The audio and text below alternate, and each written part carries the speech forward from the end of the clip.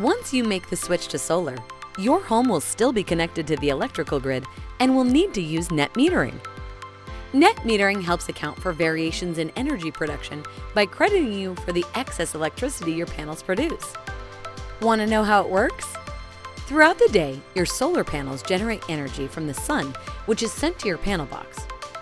A portion of this energy will immediately be used in your home, and the rest will go back out onto the grid. The excess energy that flows back out onto the grid will cause your electric meter to run in reverse, decreasing your net usage and granting you a credit from your utility company. Your system will quit producing when the sun goes down, and your home will begin to use energy from the electrical grid again. This will cause your electric meter to spin forward and increase your net usage. At the end of your billing cycle, you will be charged for the net amount of energy you used. Depending on your energy needs, this amount could be negative or positive, and your household would receive either a credit or charge on your electric bill.